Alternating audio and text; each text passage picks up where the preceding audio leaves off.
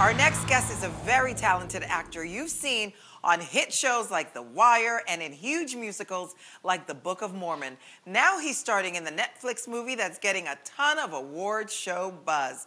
Ma Rainey's Black Bottom. Please welcome Michael Potts. hello, hello. Hey, Michael.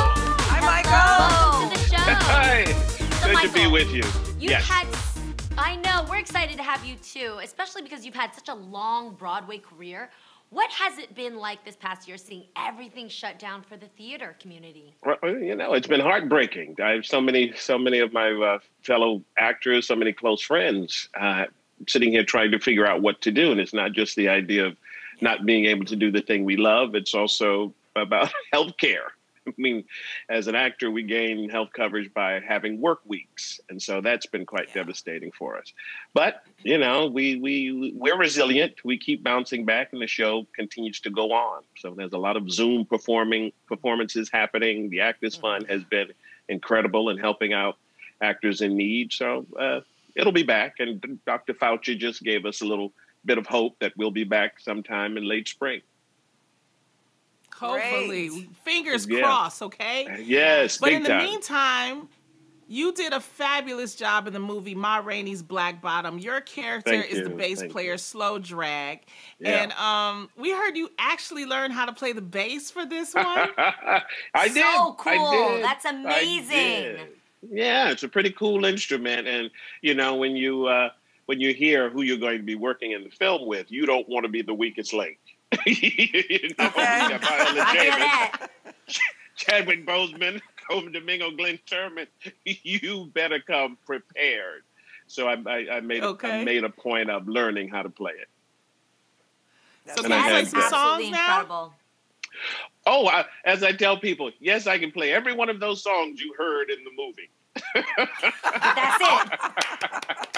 You're like any Ma. Rainey song you want to hear. Any I Ma got you. Rainey song I saw the hear. film. Yes. I saw the film and I absolutely loved it. And obviously, it features Chadwick Boseman's. It was his Yeah. last role that uh, he he was in before, obviously tragically passing away last year. Yeah. What was it like being on set with him? Oh man, it was just it, it was a joy. I mean, he's such a generous soul, such grace, such humility. You wouldn't expect it. I mean, of course, my first day on him, I'm like, oh my, oh man, Black Panther. I'm right with Black Panther, but he was he was not that at all. He was just a regular, a hardworking colleague. I mean, he came in prepared Wow. uh, worked his butt off 12 hours a day with the rest of us. And we just had a great time. We, we became family. We became brothers. and you didn't know he was of this. ill. Is that is Not that right? at all. Not at Wow. all.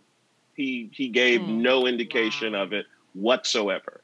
I mean, it was always this thing that he would do his takes, and George, George Wolfe, our director, would come and say, I got it, Chad. I, you know, I, I'm happy with it. And Chad would always, one more, give me one more. Let me do one more. he would just smile and, I and then those that. big, yeah, those heavy monologues. He would do them over and over and over again. Yeah. Wow. Incredible, incredible. Do you have any like funny on-set stories with Chadwick? I think our favorite, which became a running thing um, uh, on set, there is a line in the movie. Uh, uh, Levee, Chad's character, is trying to get all of us to play his version of one of Ma's songs. And so I interrupt because the string on my bass is coming loose, and I say, "Let me, uh, uh, let me fix the string."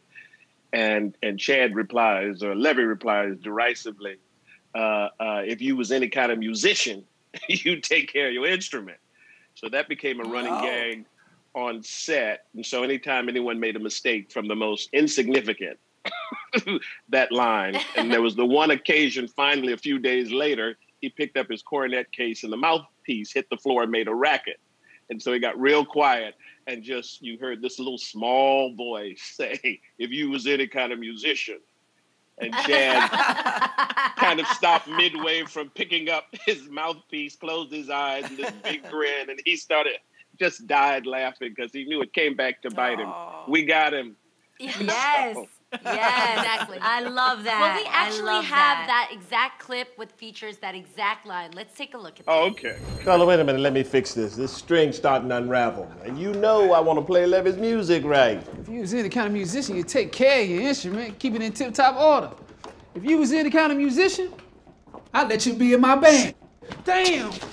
Slow drag, watch them big ass shoes you got. Why ain't nobody done nothing to you? You done stepped on my shoes. Let's move them the hell out the way then. You was in my way. I wasn't in your way. Any man who takes a whole week's pay and puts it on some shoes, you understand what I mean? What you walk around with on the ground with is a fool, and I don't mind telling them. What difference it make to you, Cutler? Fantastic. Wow. Shoes, them shoes. That's a, that's a good one. that's, a good, That is a good one. that's a good Now scene. I have to ask clip. you, Michael. Like the Yeah. The film takes place in 1920s, and here we Yeah. are. I mean, hundred years later, and a lot of the conversations that take place in the movie are incredibly Mm-hmm. relevant for what we're going through right now. Can you Abs- tell us a little bit about those parallels?